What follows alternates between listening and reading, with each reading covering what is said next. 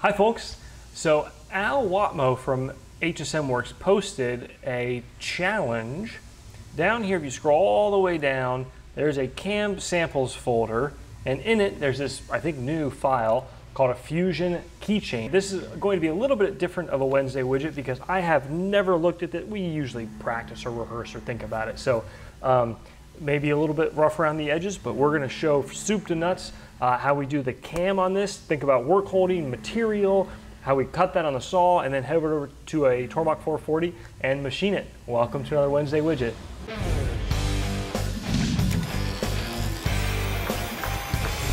So it looks like this was a demonstration of the parallel operation with a ball end mill. Let's see what size tool that is. Quarter inch. Okay. So that looks pretty cool. cool pretty cool little part with the facets. Um, first question I have is how big is this? And the easiest way to look at that is to do what they already did, which is the setup. So I right click, edit, and I take a look at the stock. Ah, I hate relative size box. So we'll switch to fixed size box. Say 1.25 by uh, 2.25 yeah, it's about right. And how thick? Let's offset from top by only 10 thou.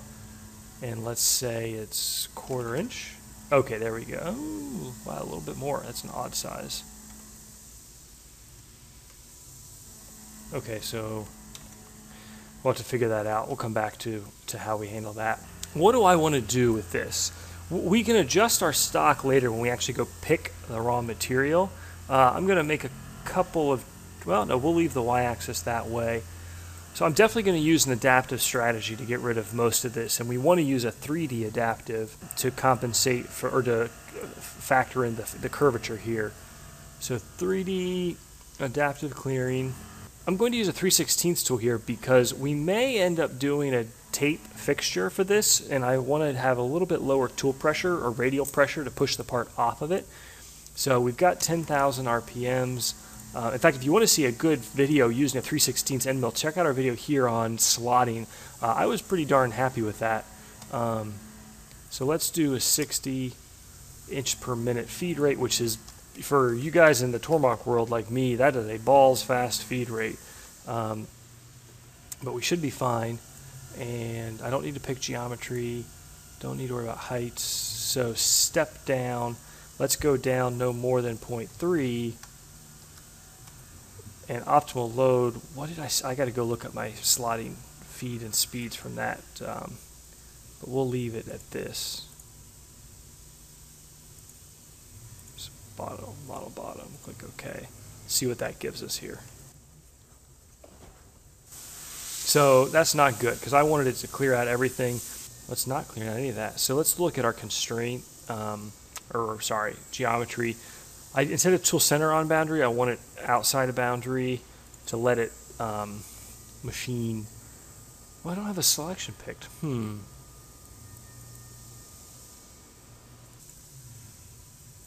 Okay, why am I not getting that? Um, see here. Model bottom, model stock top. I don't, sure an offset won't do it.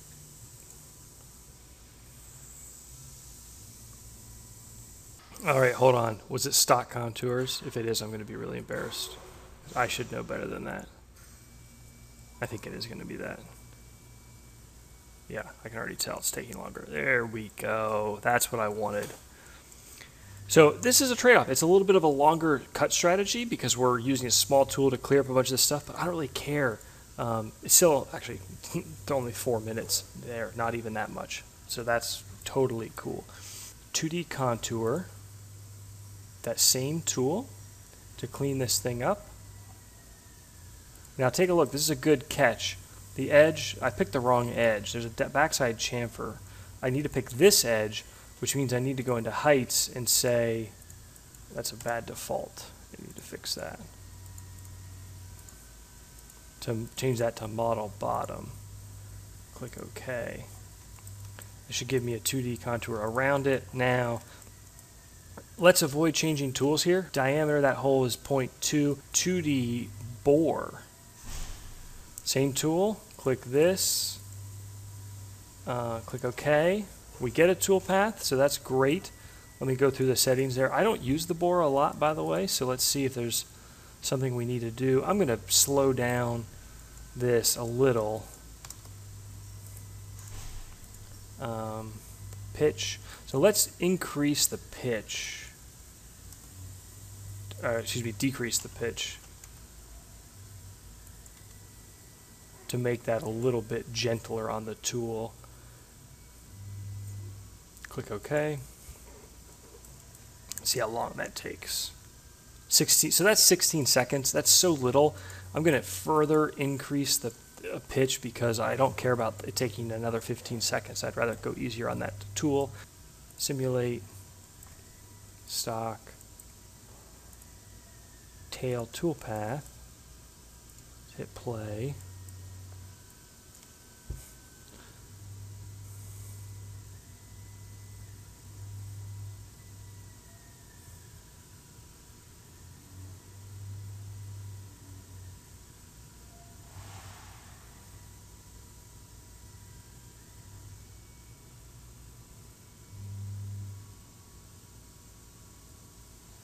Okay, okay, so that's a problem. I don't want it to go trough that down there. So that's the parallel, which is not my op yet. So see how we ended up leaving some stock to leave uh, here, and then on the contour we're cleaning up. I want this to come all the way down. So let's change passes and say, it's actually saying negative 0.005 axial stock to leave.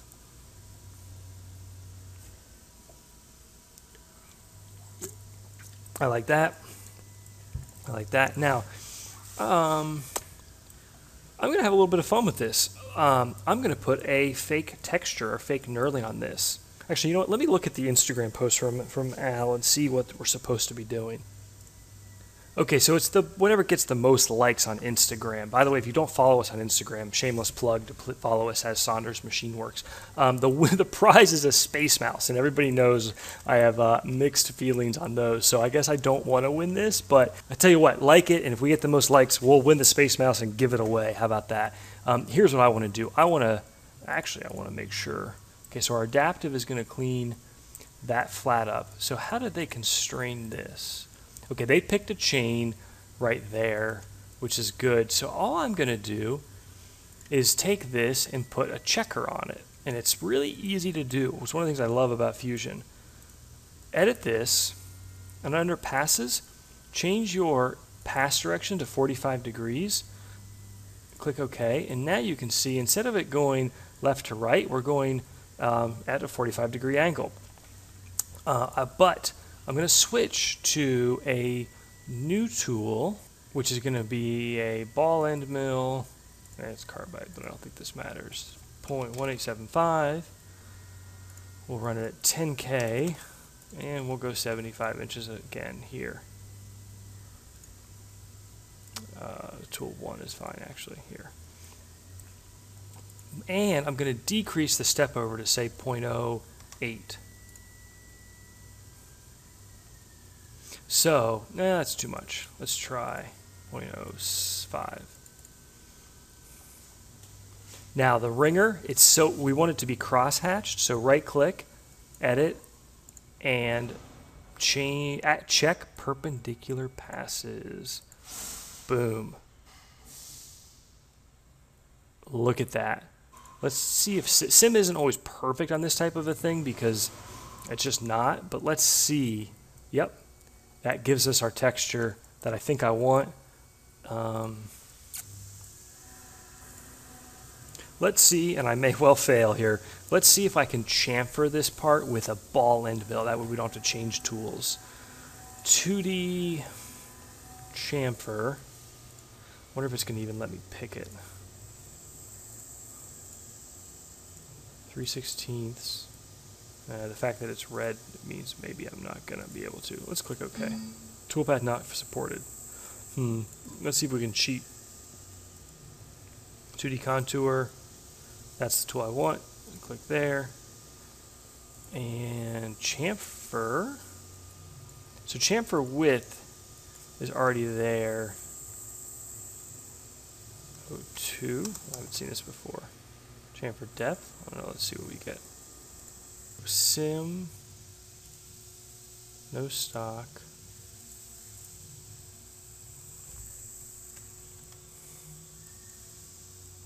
Slow down, slow down.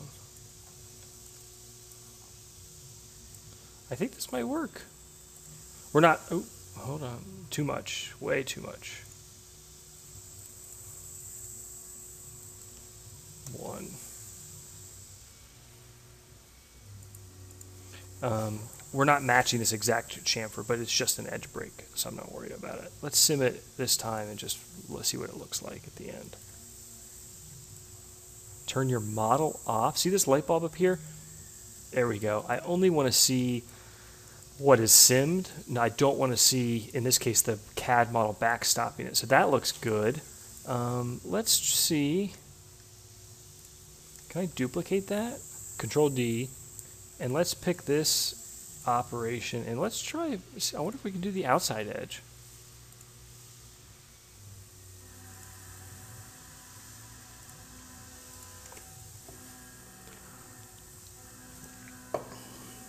Uh, turn off the model.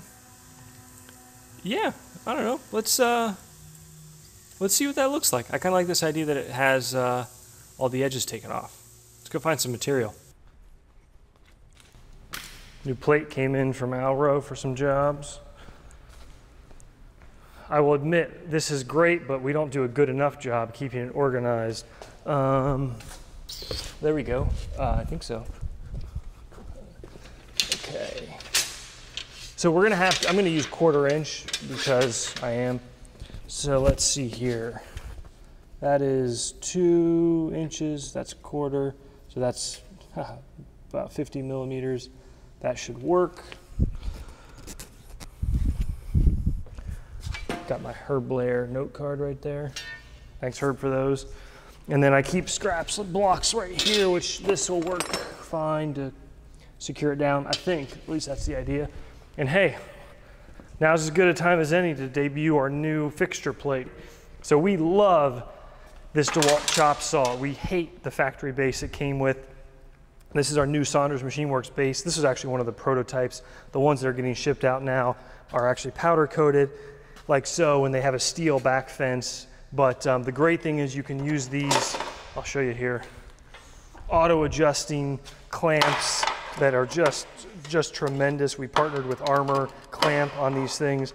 Any position, any height, you just come down, clamp, it's secure, move it to a different location, different height, it's secure. So link in the video description. We're really excited for this. I think it's a safe product. I think it's an efficient product. We've been loving it. We've spent some time thinking about the design and the layout, and it makes what I think is a great saw a much greater tool for the shop.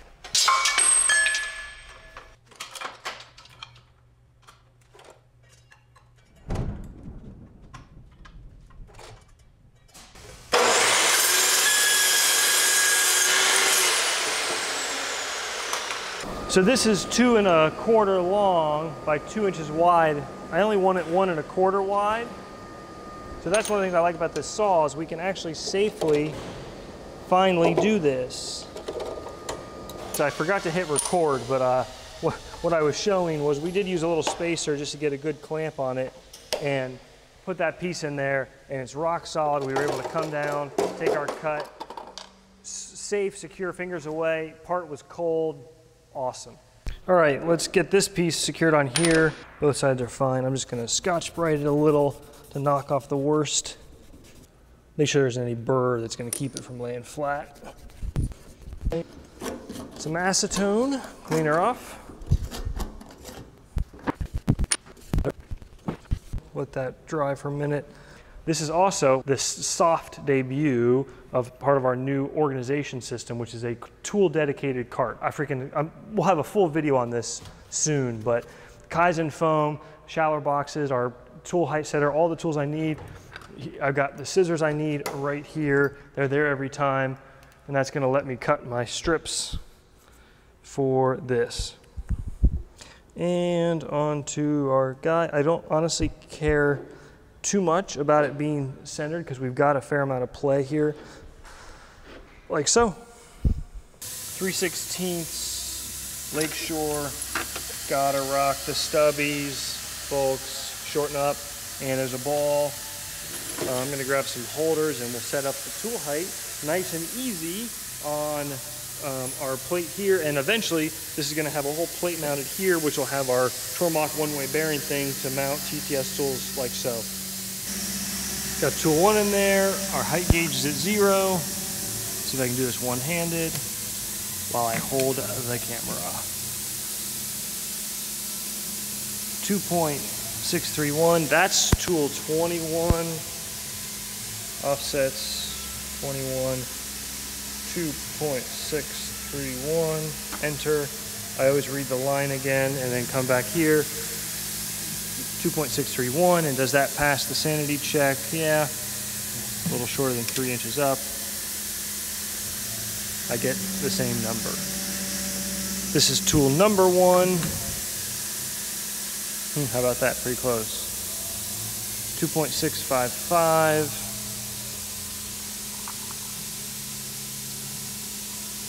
2.655. We are done. We're not even using the Haimer. I'll show you why.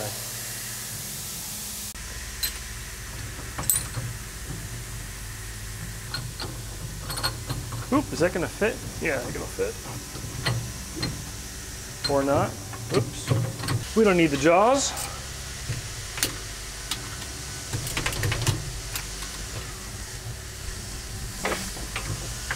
Actually, that's all I got to do. Plenty of clamping power for that.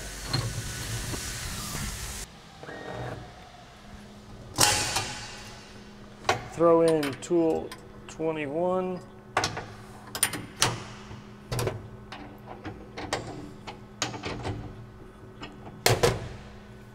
Adjust my coolant line.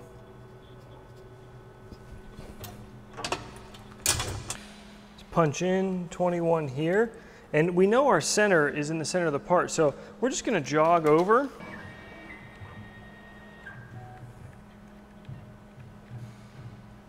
Something like that, zero, zero. And all I gotta do now is jog around. It's hard to do with it right this second with the camera in front of me, but take a look at how I line up in my toolpath. And honestly, that's plenty good. We've got so much extra material around here. Same thing on the Z because I've got tool 21 listed, we can just, again, I'm straddling the camera here.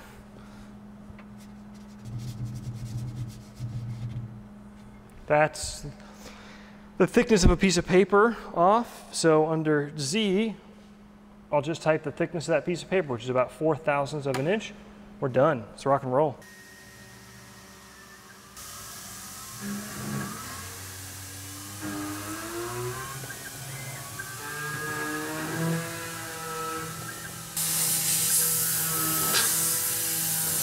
we just made some blooper footage. So instead of this stuff though, a fellow named, user named Jim, a fan of the channel, sent in a bunch of tape, including this. This is supposed to be even better. I also reduced the radial load on that tool a little um, because sh this should work. Um, the reason it's not is my fault and only my fault.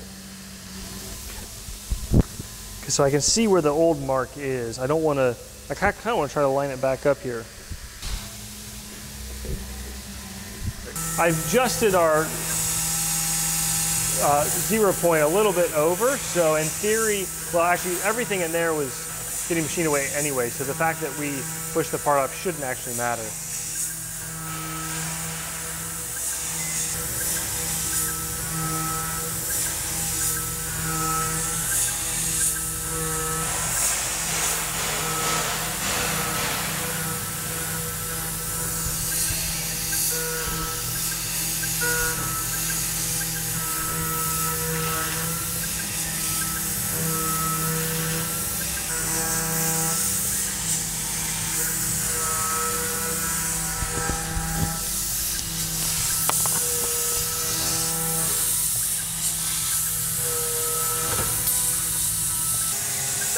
Frustrating. The only reason that last tape failed was that the uh, workpiece was super hot. And that's so strange because I had a good cut recipe. Why would it have been, um, that doesn't make sense to me. Like I really don't understand.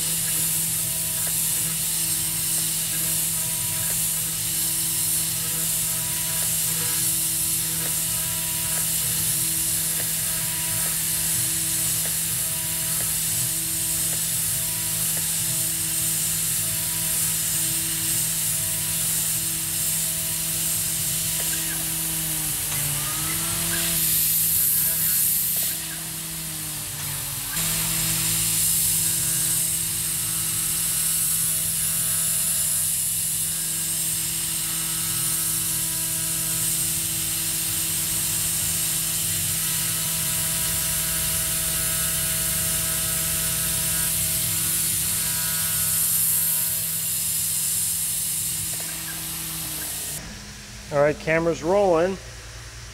There's the look.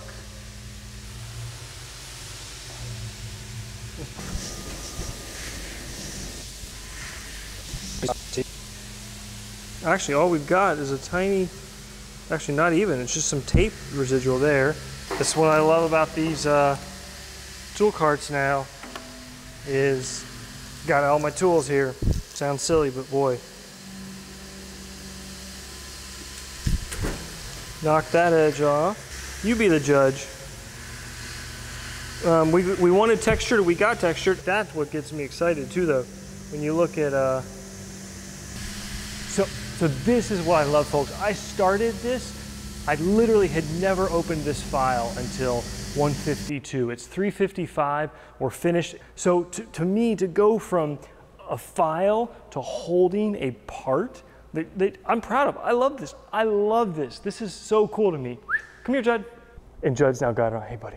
Hey, Judd. Do you want to go? Do you want to go get a treat? Do you want to go get a treat, Judd? Can you show everybody your new fusion tag? But seriously, folks, thank you. I love this. Awesome stuff. So with that, folks, take care. See you next Wednesday.